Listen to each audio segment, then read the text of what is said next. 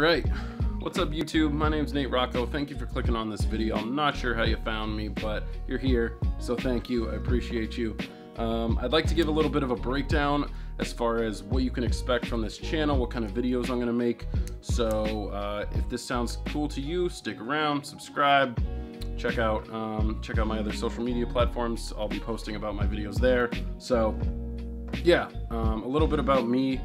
Uh, I'm 23, I'm a graphic designer, a videographer, and a photographer, and kind of everything in between that encompasses um, those creative fields.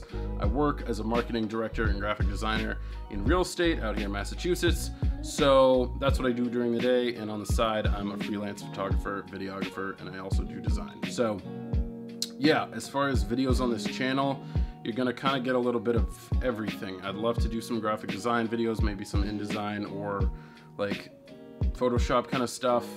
I'll do a lot of cinematography kind of stuff based around video. Um, any video content I shoot for freelance stuff, if I can post it here, I'll do that. And definitely a lot of photo. Today is going to be kind of focusing on more of the photography end of things. I'm going to go over a little bit of some recent photography I've been taking and some photography habits that I've been trying to mold for myself and a little bit of Lightroom Mobile how to edit on the move and um, why I think that's valuable and why that could uh, help progress your photography style. So yeah, if that sounds interesting, stick around, grab a drink, let's get into it. All right, so a quick tip that I've been trying to implement into my life is just always taking my camera with me. I feel like if I'm doing something for work or I have a freelance gig, I'm taking my camera out, I'm doing that shoot, and then I'm putting it back on the shelf. Where lately I've been leaving for work, leaving whatever I'm doing on the weekend, and I just grab my camera, I take it with me, and I found that if it's always next to me, always ready to go, I sometimes even just keep it on. Like even shutting your your camera off and having the lens cap will stop you from maybe taking that photo that you were planning on or you, you were thinking about taking. So yeah, just always always have it on you because you never know what you want to shoot or what you might want to shoot. All right, so editing on the move.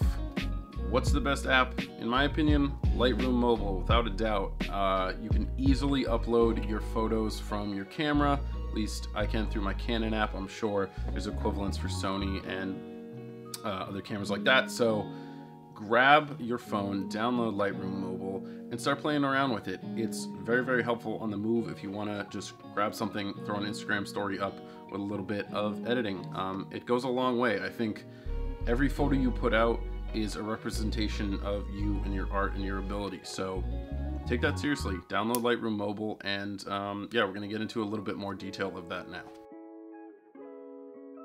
So on the screen now, I'm to put a couple of photos that I've taken over the past few weeks, just in the time that I've been trying to take my camera with me more. Just having it on me gives me the versatility of a real DSLR camera versus my phone.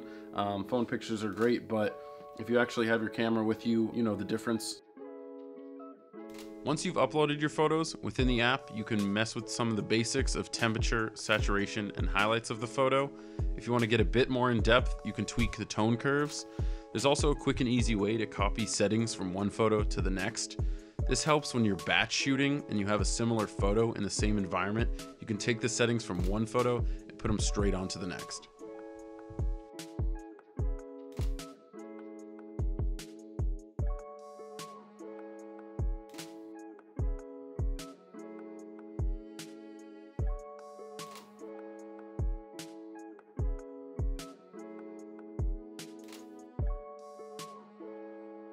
So hopefully you enjoyed some of those photos. Um, I'm gonna keep doing these kind of videos of just everyday carry kind of photos that I edit on my phone and I put online. So let me know what you think of this kind of style. If you like the way I display it, if you like the music behind it, whatever, give me your thoughts. This is all new to me. So um, feedback is definitely appreciated. And yeah, so I wanna get into kind of my final topic of the video. I wanna keep it short and sweet. And that is kind of another reason behind why I want to carry my camera more. And it's just to create. I feel like the age of Instagram and like everything with showing off what you're doing and this like cool lifestyle that you live, like everybody knows Instagram's cool and all, but it's the highlights. You're seeing the best of the best of everybody's life. And me included, if you call my Instagram, it's the coolest shit I do.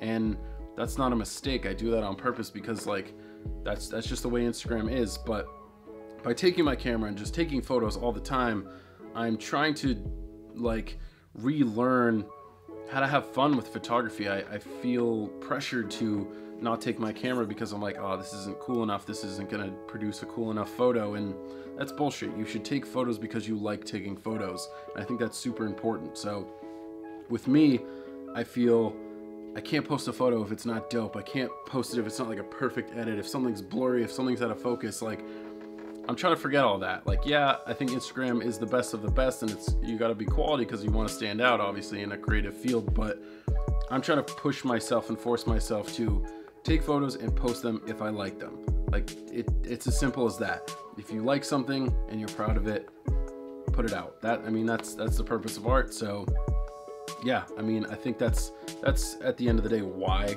I feel like I've been trying to push myself to just take pictures and not have some sort of weird um, agenda behind it. So yeah, um, let me know what you think of that.